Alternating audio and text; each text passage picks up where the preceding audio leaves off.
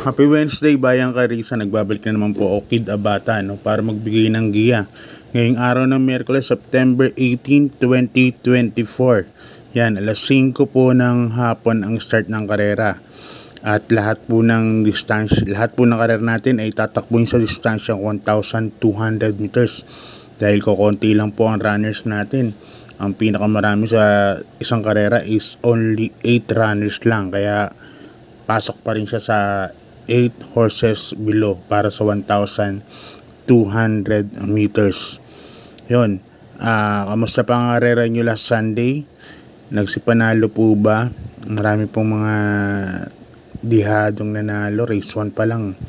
Bini-bini ka agad ang nalo ng race number 1. And so on and so forth. Uh, lamado, lamado. May mga segundo lamadong nanalo. Anyway, abangan natin sa darating ng Sabot Linggo. Uh, suportahan po natin ang Philippine uh, PRHTHI PRTHI AI uh, para sa mga pakarera po ng mga trainers natin ng uh, industriya ng karera, mga trainers magsasama-sama po sila at gagawa po ng mga gandang uh, karera no para sa atin. Sigurado po hangs po lahat ng mga entries yan malamang maraming marami pong sasali po dyan sa Sabado at Linggo. Kung wala po kayong gagawin, pwede po kayong pumunta ng Mal Mal Malbar, yan, Metro Turf, at uh, siguraduhin na, natin na sigurado ako parang maganda po ang kalalabasan ng pag-handicap ng mga kabayang tatakbo para sa naturang araw na yun, no? Sabado at saka Linggo. So ayan, good luck Bayang Karista. Daso.ph nga, subscribe na Bayang Karista, 18 per araw, bali 299 monthly. 18 racing days to tayo dyan, 16 to 18 racing days, kaya makakatibig tayo, napakaganda po, mag magiging magaan po, paggamit nyo ng pag-review po sa bawat karera. Okay, start na po tayo, race number 1, isang 3 year old and above maiden race, race number 1. Ay, ito pala, race number 1 lang, 1400 meters, no? Tapos lahat na, or 1200 meters kasi, ang maiden po ito, eh, no? Ang maiden natin, 1400 meters na po sila. Ang pili ko po dyan, suluhin ko na po, number 2, Natural Beauty. Yan, sa ni Jackie Marty Tabor, RT Tabor. Kapatid ni Hapon Tabor yan.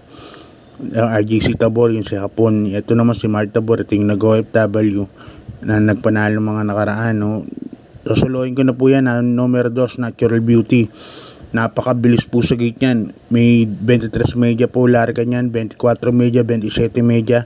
Tumapos ng 1.15 media sa distansyang 1,200 meters punong-puno pa nakapigil lang si KB Hernandez po ang may sakay nun nung time ng Novatos kaya para sa akin lamang na lamang po yan numero 2 Natural Beauty yan. Ang uh, kung magpo-forecast po ako, ipo-forecast ko na rin yung numero 1, Wildcat, Bezaran na sa maiden yan, isang deremate. Pero ako sa ulo na ako dyan. Ah. Number 2, Natural Beauty, magandang kabayo po, Bayang Karista. Okay, good luck Bayang Karista. Lipat tayo sa race number 2, isang rating base class 5.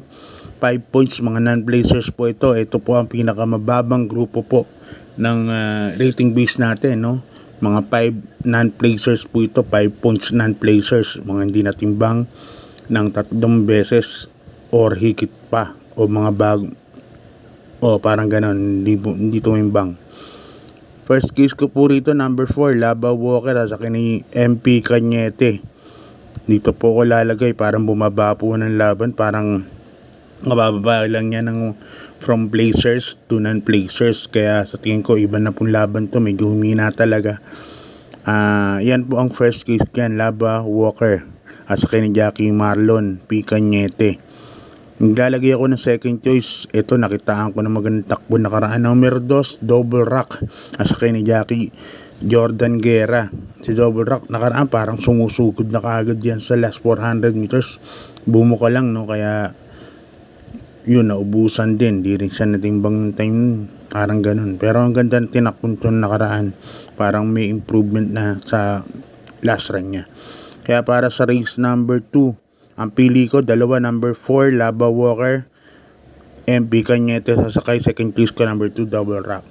Good luck bayan ka rin sa lipan tayo sa race number 3. Umpisa ng peak 5 from races 3 to 7. Isang rating base class 16 points to 20. Ah, class 4 16 points to 21 points split group. Dito may 6 runners po tayo. Sobrang ipis talaga ng lineup pero kahit sa ganitong kanipis medyo hindi po kasiguruhan ng mga mananalo dahil may mga may mga halos parehas lang po ang ano nila, potential na manalo. First case ko rito, number 3, Bukawi River Town sa ni Jackie Ace Aguila. Yan. Diyan po ko lalagay. Nakaraan, inabot lang po yan ni Static, no? Race number 1. Uh, ah, si Bukawi River Town, inunahan nila cut bait na nakaraan yan, eh. Saka ni Rule the World. Tapos, binigay, ano, nag last 400 lang to si Ace Aguila inabot kagad din ni static kasi nga sumama siya sa bandera nila catbite nun. Para sa akin ito ang host to beat dito number 3 Bukawi River Town. Second case ko yung number 5 na rin AP Factor sa kina Jackie Mark Alvarez. Yan. AP Factor alam na natin to pwede pong iuna to pwede pong isunod to tong kabayan na to kaya tingin ko may may, may panalo po po talaga numero 5 AP Factor kaya siya po ang napipisil kong second choice niyan. Kaya dito sa race number 3, Tres Bukawi River Town and number 5 AP Factor. Okay, good luck bayan ka rin sa lipat tayo sa karera numero 4. Isang rating base class 5. 5 points. Mga placers naman po ito. Uh, split group. Ito mga placers na rating 5 to mas mataas sa non-placers po itong mga to. Ito yung mga bumaba from ratings group number 6 na bumaba o mga natimbang. Yan sa 5 na, na, na placers. Okay dito meron tayong 6 runners but 5 betting options lang po tayo. Sasuluhin ko na po ito, itong 2 in 1, numero 3. Eno Teresa Cher, Apoy Asuncion, 3A, Primero Soldado, RA Base. Pares malaki panalo, couple entry pa. Tipid na ho sa pagrota yan, sa paggawa ng rota kasi nga, dalawang kabayo kagad sa isang numero lang. At sa tingin ko, malaki po ang panalo pareho. Si Reno Tresker, isang di bandera. Alam naman natin na di bandera po to. Although nandiyan si Case de Gold, isang mabilis din. Pag nilumutya siya dyan, si primer soldado na mapupunta sa numero 6 eh malamang maganda po ang isasalida niyan dahil si primer soldado ang problema lang talaga niya sa gate no? Lumalabas ng late po yan. Pero sa tingin ko this time uh, nasa outer number siya. Tapos uh, last to enter pa. Kaya tingin ko pabor po sa kanya. Kaya dito sosolohin ko yan, numero 3 and 3A, Eno Teresa Care and 3A Primero Soldado. Okay, good luck bayan ka rin sa lipat tayo sa race number 5, isang rating base class 5, 11 points to 15 points. Dito may 6 runners po tayo. First case ko po rito para sa race number 5, numero 4, advocacy. Kasakay ni Jackie J.M. Storke uh, medyo naikli lang yung distansya no? Pero nakikita ko kasi si time traveler sang mabilis kasi malibobel eh baka magbakbakan po sa unahan yan. Dalawang quartos lang po magbakbakan yan diremate po direma, ano diremate nasa buo kasi. Yan ang ano ko dyan senaryo ko dyan. Ngayon kung may nauna sa dalawa tingin ko may panalo na rin. Kaya naglagay akong second case dyan number 3 time Traveler. Yan, sasakyan ni Jackie King Flores. Pag nauna po ito, malamang, eh, malaki na rin po ang panalo. Si Time Traveler naman, pwede pong ding isunod yan. Kaya yan ang second choice ko dyan. Hindi ko na nalagay rito yung third choice kasi nakakahiya. Anim lang. Magtatatlo pa ako. Pero bubulong ko na rin po sa inyo. Gusto kong dihado kung sakali pong ilaban ng connections. Number 5, Go Uste. Masakin ni Jackie Boji Henson. Yan, magandang dihadi yan sa amin sa Rota. Yan. Okay, good luck bayan ka Lipat tayo sa penultimate race. Ang rating base class 5. 11 points to 15 points split group. 1,200 meters din po ang karera. Dito may 6 runners po tayo. Yan. First case ko po rito, number 5, Antonio de la Mugis. Sasakyan ni Jackie J.M. Storke. Bagong baba po yata to. Uh, iba po ang kinakalaban nito sa grupo ngayon, no? Kaya parang bumaba siya ng laban. At sa tingin kong mapapabor po po sa kanya ang senaryo ng karera dahil Sun Moon Lake, Success of Times, parehas mabilis yan. Sun Moon Lake, siguradong di mauna kay Success of Times to. At si Tanton de Lamugi siguro mga kwarto pesto lang o tercero pesto uh, manggagaling to. Kaya sa tingin ko ito makakapabor para sa senaryo na yan. Kaya number 5, Antonio de la Mugis ang first case ko. Lalagay ako ng second case, number 1, Buhayang Bato.